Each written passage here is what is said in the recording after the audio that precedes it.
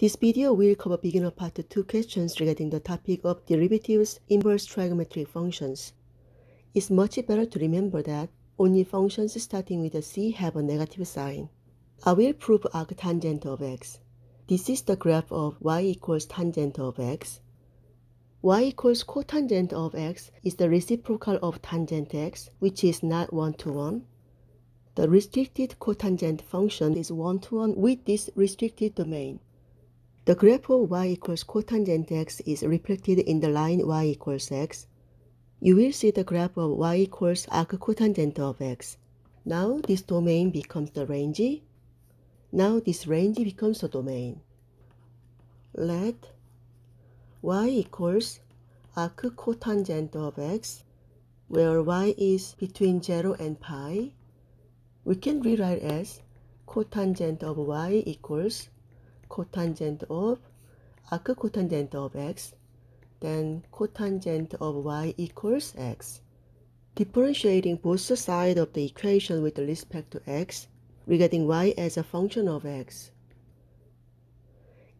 Then you get minus cosecant squared y times dy dx equals 1.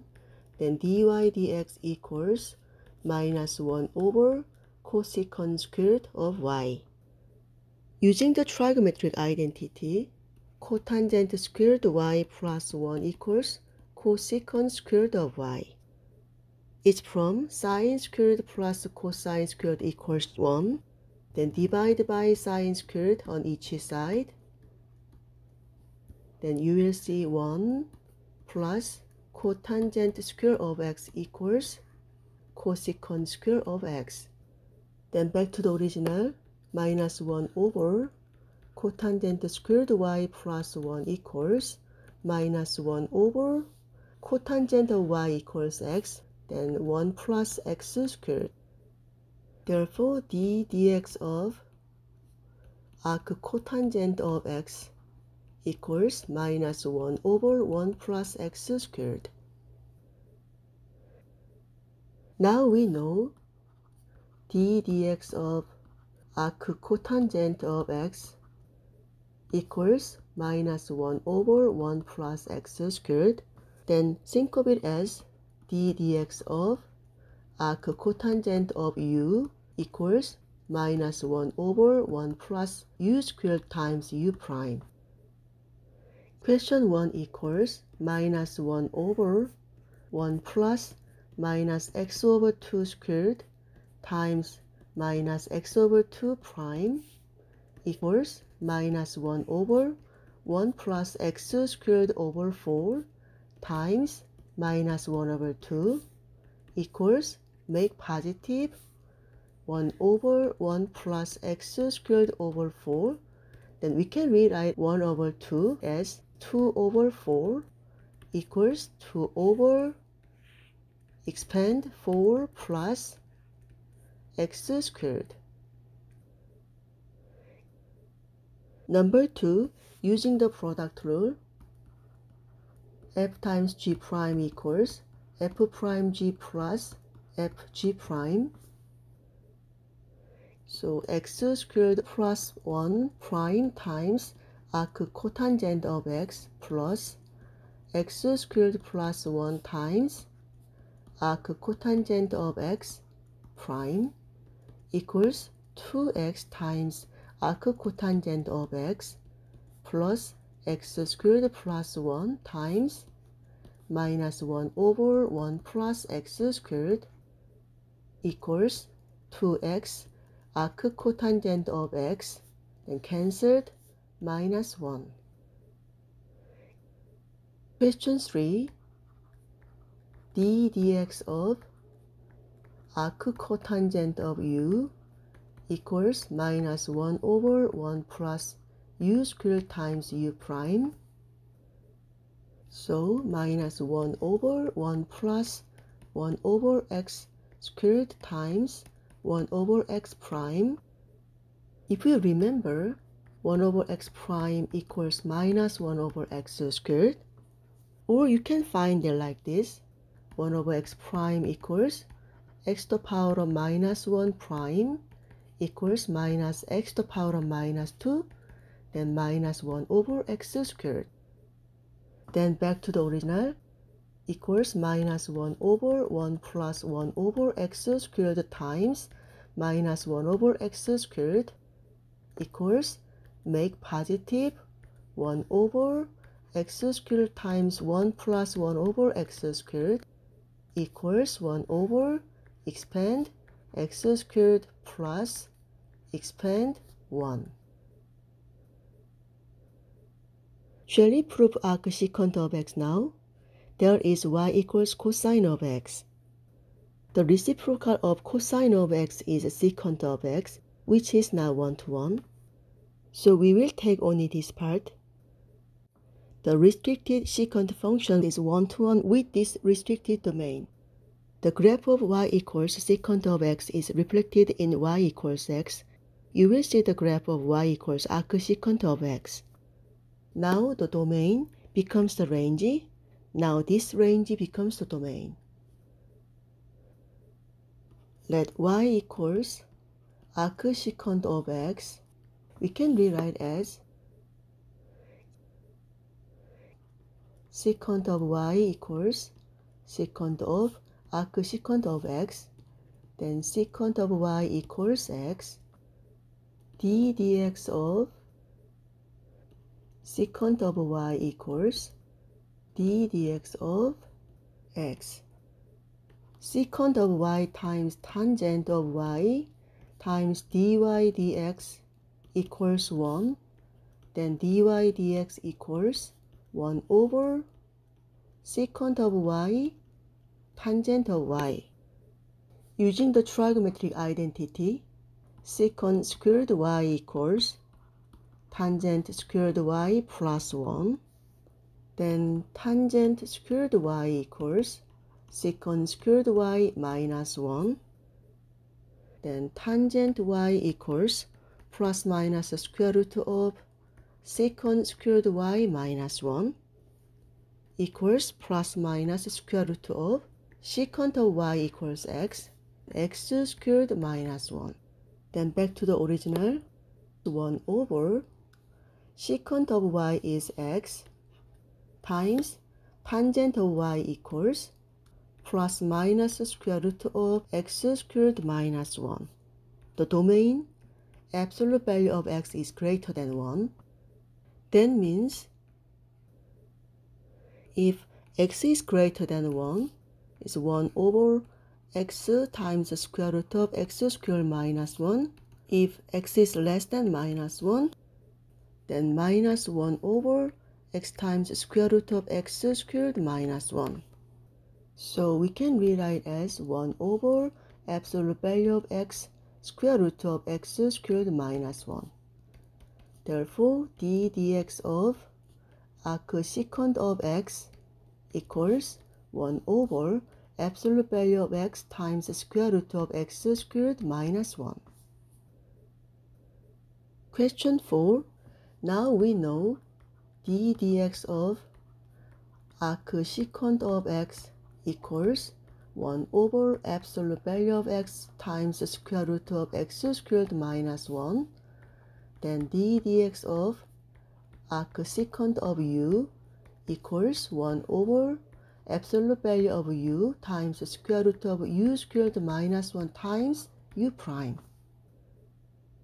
equals 1 over absolute value of 3x times the square root of 3x squared minus 1 times 3x prime equals 1 over, we can rewrite as 3 times absolute value of x, then square root of 9x squared minus 1 times 3, then cancelled, equals 1 over absolute value of x times square root of 9x squared minus 1.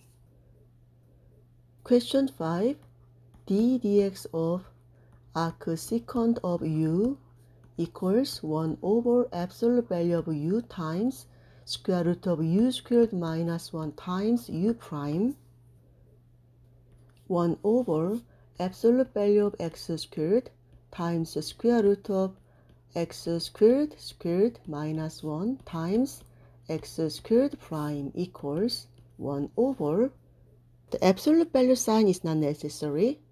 So it's x squared because x squared is positive.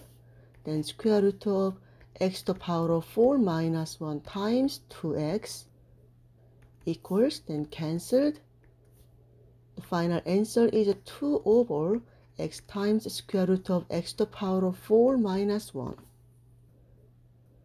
question 6 equals 1 over absolute value of square root of x times square root of square root of x squared minus 1 times square root of x prime equals 1 over. We don't need the absolute value sign here because the square root of x is always greater than 0.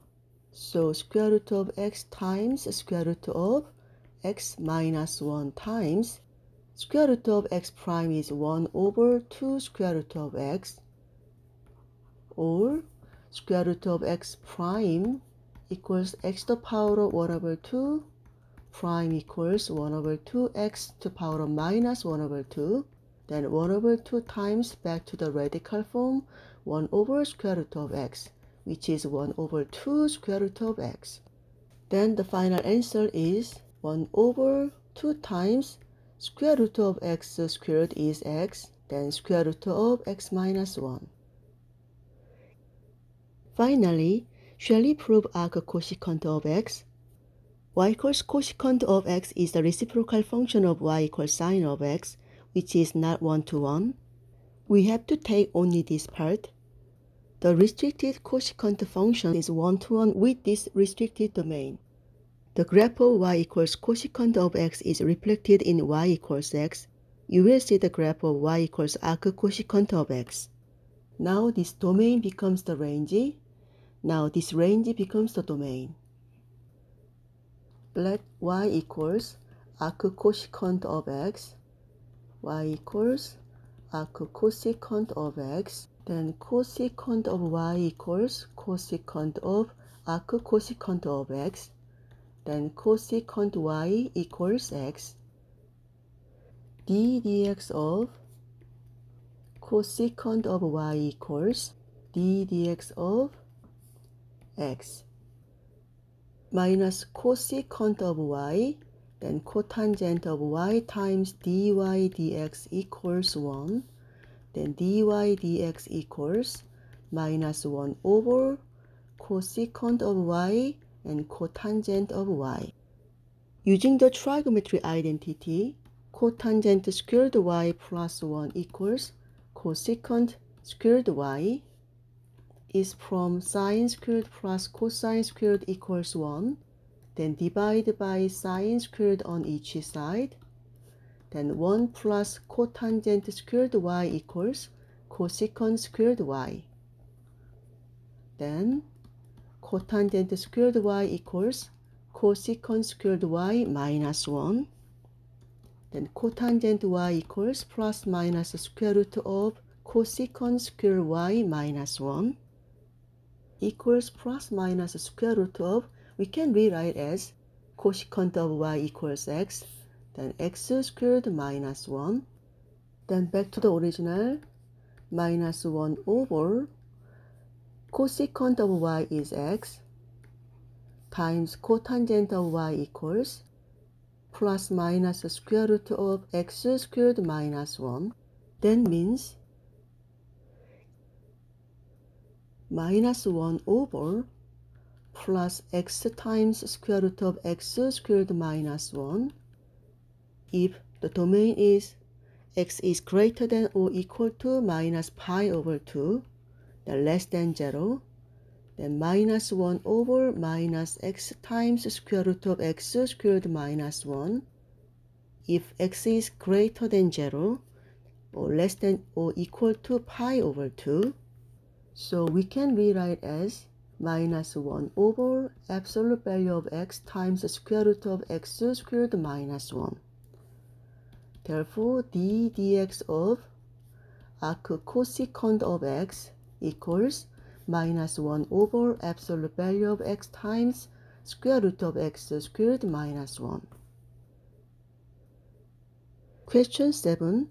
Now we know d dx of arc cosecant of x equals minus 1 over absolute value of x times square root of x squared minus 1. Think of it as d dx of u to the power of 3 equals 3u squared times u prime. Then 3 times arc cosecant of x squared times arc cosecant of x prime equals 3 times arc cosecant of x squared times minus 1 over absolute value of x times square root of x squared minus 1. The final answer is minus 3 arc cosecant of x squared over absolute value of x times square root of x squared minus 1. Question 8.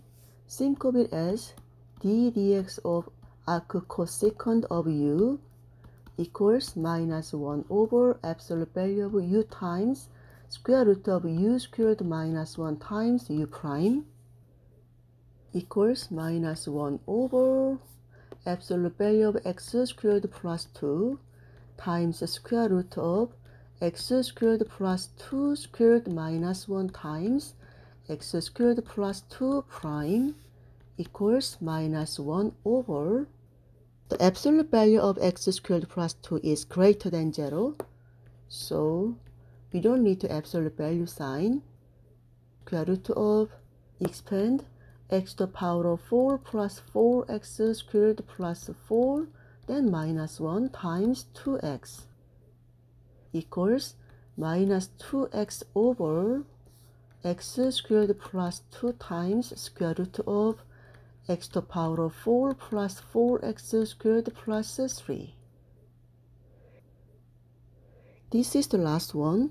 Think of it as d dx of arc cosecant of u equals minus 1 over absolute value of u times square root of u squared minus 1 times u prime equals minus 1 over absolute value of x over 3 times the square root of x over 3 squared minus 1 times x over 3 prime equals minus 1 over, we can rewrite as 1 over 3 times absolute value of x times square root of x squared over 9 minus 1 times 1 over 3, then cancelled, equals minus 1 over absolute value of x times the square root of, take out 1 over 9, we can factor x squared minus 9 equals minus 1 over absolute value of x times, take out 1 over 9, which is 1 over 3, square root of x squared minus 9. The final answer is minus 3 over absolute value of x times square root of x squared minus 9. I hope this video has been helpful. If you have any questions, leave them in a comment below and I will address them in a future video. Thank you for watching. Please like and subscribe for more.